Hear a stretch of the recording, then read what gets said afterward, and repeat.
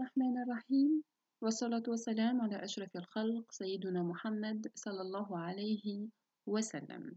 نواصل في سلسلة الدروس آه، المتعلقة بمقياس مدخل لعلم القانون. آه، سوف نتعرض إن شاء الله اليوم إلى تقسيمات القواعد القانونية وذلك بعد آه، أن تم تفصيل أقسام القانون وقلنا في آه، في الفصل الأول بحيث قلنا بأنه آه، تقسيم آه، أقسام القانون يرجع إلى العهد الروماني وهو لا يزال يعمل به إلى حد الآن وهو يقسم إلى قسمين أساسيان القسم العام والقسم الخاص. وقلنا بأن التفرقة الأساسية ما بين القسمان تكمن في عنصر السيادة أو السلطة بحيث أن كلما كان أشخاص القانون العام يتميزون بعنصر السيادة والسلطة فهذا فهذا الفرع من القانون يندرج ضمن القسم العام في حين كلما كانت القانون ينظم العلاقات الأفراد فيما بين فيما بينهم أو وجود شخص من أشخاص القانون العام ولكنه يتجرد من صفة السيادة والسلطة فهو يندرج ضمن القسم الخاص من القانون. بالنسبة لتقسيمات القواعد القانونية فهي تقتضي عملية تحليل لفرضيات. آه، هذه الفرضيات آه، مقسمة إلى أقسام ثلاثة الفرضية الأولى تتعلق بالمعيار الشكلي الفرضية الثانية تتعلق بالمعيار المادي والفرضية الثالثة تتعلق بالمعيار العملي. فيما يخص المعيار الشكلي. فيما يخص المعيار الشكلي للفصل بين القواعد القانونية فهنا الفقه يفرق بين آه، قسمان. فهنا الفقه قلنا يفرق بين قسمان القواعد بين القواعد القانونية المكتوبة والقواعد القانونية الغير مكتوبة. ففيما يخص القواعد القانونية المكتوبة هي تلك القواعد المدونة كتابة والصادرة عن سلطة مؤهلة لإصدار التشريعات. وبهذا المعنى تقتصر هذه القواعد على النصوص التشريعية فقط الصادرة في شكل تقنينات منشورة في الجريدة الرسمية وذلك بعد إقرارها من قبل السلطة التشريعية.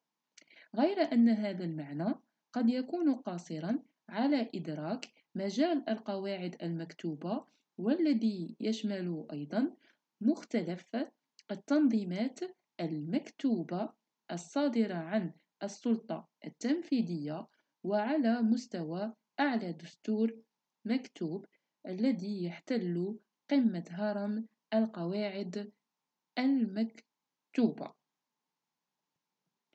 وبالتالي فهذا التقسيم يركز فقط على القواعد القانونية المكتوبة يعني الصادرة عن السلطة التشريعية. وبالتالي هنا يجردنا من المصادر الأخرى التي سوف نقوم بدراستها في المحاضرة اللاحقة إن شاء الله. يقوم بتجريد أو يقوم بطمس المصادر الأخرى فهو اتجاه يمكن يمكن انتقاده لأن القواعد المكتوبة لا تقتصر فقط في في في في القوانين الصادرة عن السلطة التشريعية. فبالنسبة لأحكام الشريعة الإسلامية على سبيل المثال هي قواعد مكتوبة وهي أيضا من آه، المصادر المنصوص عليها في القانون.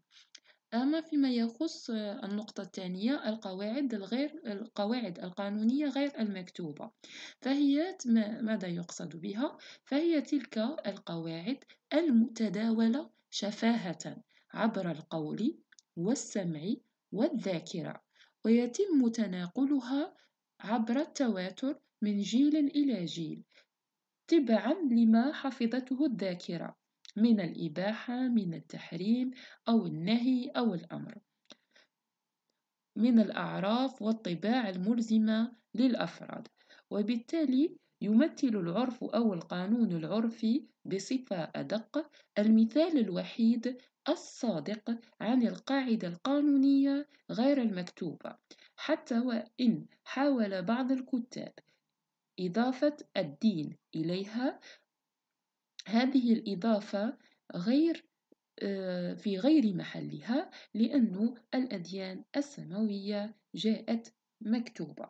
وبالتالي فهذا التقسيم يقتصر على آه، القواعد القانونية الغير المكتوبة فيتبادر آه، بصورة أساسية الأعراف لماذا؟ لماذا آه، الأعراف؟ لأن العرف هي من مصادر القانون وهي المصدر غير مكتوب لأنه هناك هناك شعور نفسي على العمل به فهذا فيما يخص المعيار الأول الذي يقسم لنا القواعد القانونية إلى قواعد مكتوبة وقواعد غير مكتوبة. فقلنا بأن القواعد المكتوبة هي كل النصوص الصادرة عن السلطة التشريعية أو السلطة التنفيذية. يعني الهيئة المخول لها قانونا في البلاد إصدار, إصدار القوانين. في حين القواعد الغير المكتوبة فالأحسن مثال هي الأعراف. لماذا الأعراف؟ لأنها تلك القواعد متداولة شفاهة أو عن طريق السمع ومتواترة يعني يتم تناقلها من جيل إلى آخر. فيما يخص موقف المشرع الجزائري من المعيار الشكلي. آه، لقد أقر المشرع الجزائري في نص المادة الأولى من القانون المدني التفرقة بين القواعد المكتوبة وحصرها في التشريع والشريعة الإسلامية وقواعد غير مكتوبة وحصرها في العرف. وبالتالي نقول بأن المشرع الجزائري قد أخذ بالمعيار الشكلي في في تقسيم القواعد القانونية فأخذ بالقواعد المكتوبة واعترف أيضا بالقواعد الغير المكتوبة كمصادر للقانون في التشريع الجزائري في التشريع الجزائري.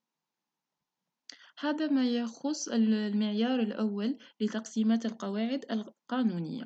أما فيما يخص المعيار الثاني هو المعيار الموضوعي. في المعيار الموضوعي هناك آه، هناك آه، آه، وجب التمييز بين بين نوعان بين القواعد الإجرائية والقواعد الموضوعية. فماذا يقصد بالقواعد الإجرائية. فالقواعد الإجرائية آه، توضع تضع إجراءات لتحصيل حق سواء كانت إجراءات اتفاقية كإفراغ العقد في شكل معين والاتفاق على إجراءات معينة لإبرام أو انقضاء العقد. أو كانت إجراءات قضائية مدونة في قانون خاص مثلا قانون الإجراءات المدنية والإدارية الصادر آه، بمقتضى القانون 0908 والذي يشمل إجراءات آه، التي يتعين على الأفراد اتباعها عند اللجوء إلى القضاء. كقواعد الاختصاص رفع الدعاوى وسيرها طرق الطعن إلى غير ذلك. فكل هذه القواعد هي قواعد إجرائية بمعنى شكليات متبعة على متبعة آه، في عرض متبعة في العرض خصوصا أمام القضاء. وبالتالي في آه، وبالتالي وجب اتباعها لأنها عبارة عن قواعد آمرة تتعلق بالنظام العام. أما فيما يخص القواعد الموضوعية فهي كل القواعد التي تقرر حقا أو تفرض واجبا. وعادة ما ترد هذه القواعد في تقنينات موضوعية كالتقنين المدني أو التقنين التجاري.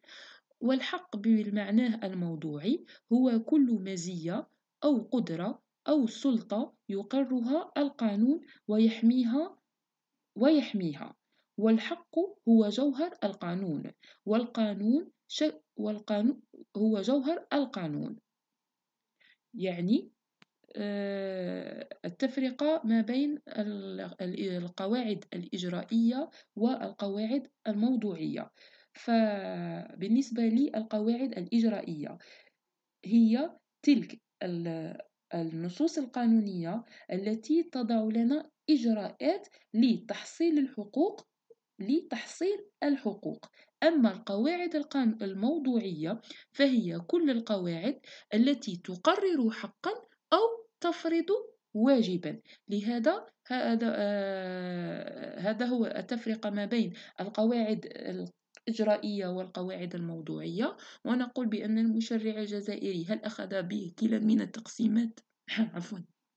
كلا من التقسيمات في في المنظومة القانونية نقول نعم لأن المشرع الجزائري قد وضع لنا ترسانة من النصوص في في التي تحدد الإجراءات منها قانون الإجراءات المدنية والإدارية قانون الإجراءات الجزائية وهناك مجموعة من القوانين التي تنظم آه، وتقرر حقوق وتفرض واجبات منها القانون المدني القانون التجاري إلى غير ذلك من القوانين. أما بالنسبة لآخر معيار لتقسيمات لتقسيمات القواعد القانونية فهناك المعيار العملي.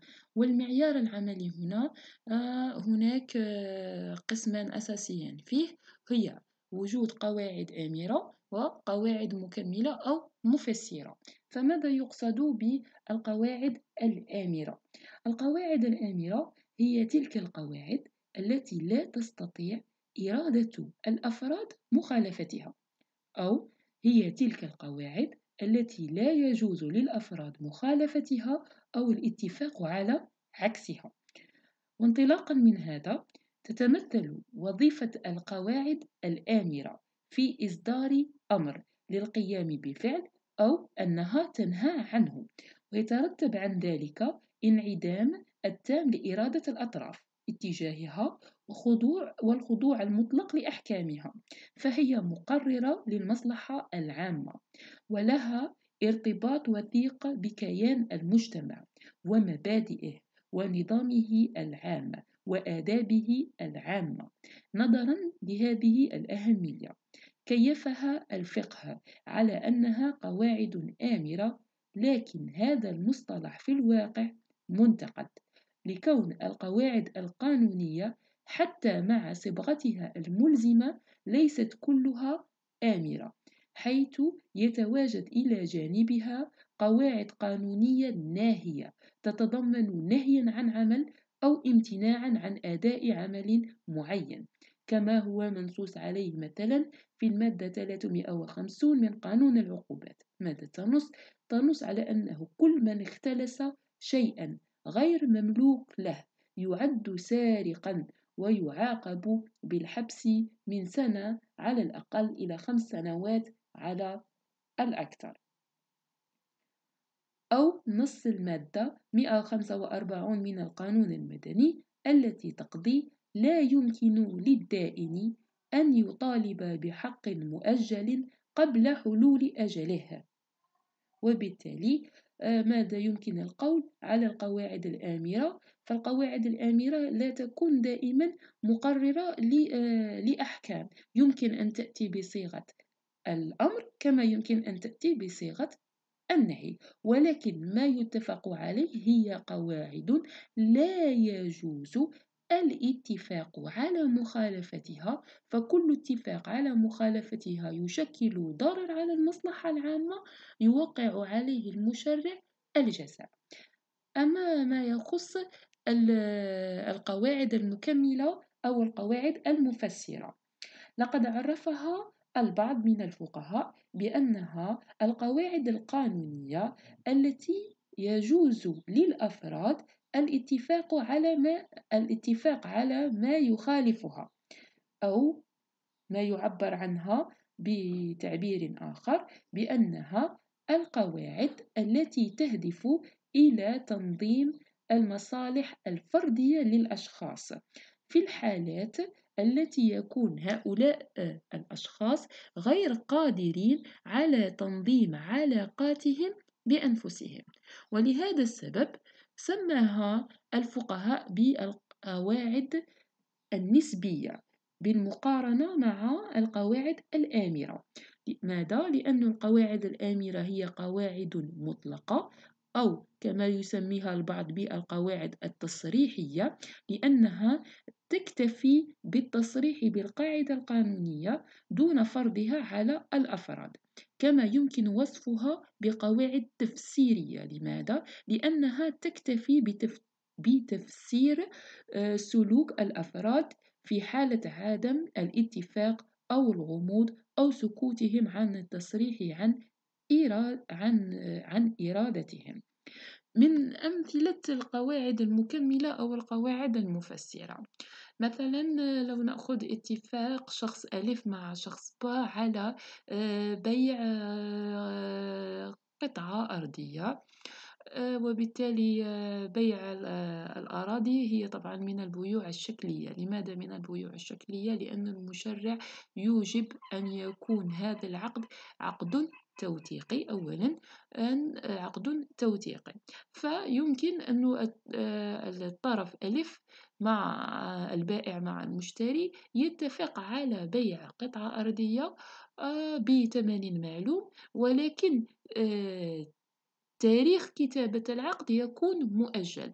فالسؤال الذي يطرح هنا هل العقد صحيح نعم أم لا؟ فيقال بأن العقد صحيح ولكن ينقصه إجراء شكلي لماذا عقد صحيح؟ لأنه وجود تراضي ما بين البائع والمشتري هناك إيجاب وقبول هناك محل اللي هو آه، القطعة الأرضية وهناك ثمن معلوم والسبب طبعا يكون مشروع لهذا يمكن أن يكون هناك البيع الأولي ثم آه، بعد مدة زمنية متفق عليها بين الطرفان يتم إجراءات الكتابة وبالتالي فهي من القواعد آه، فهي قواعد مكملة لأنه آه، في حالة الاتفاق بين الطرفين لن يكون هناك ضرر على المجتمع ولن يضر المصلحة العامة. بعكس القواعد الآمرة فهي تفرض قواعد لحماية لحماية المجتمع. هذا بعجالة فيما يخص آه، تقسيمات القواعد. قلنا بأن المشرع الجزائري قد أخذ بالأنواع الثلاثة آه، بالأنواع الثلاثة سواء فيما يخص القواعد الإجرائية والموضوعية سواء فيما يخص القواعد المكتوبة والغير المكتوبة والقواعد الآمرة والقواعد المكملة آه، في في صياغة النصوص القانونية. وشكرا.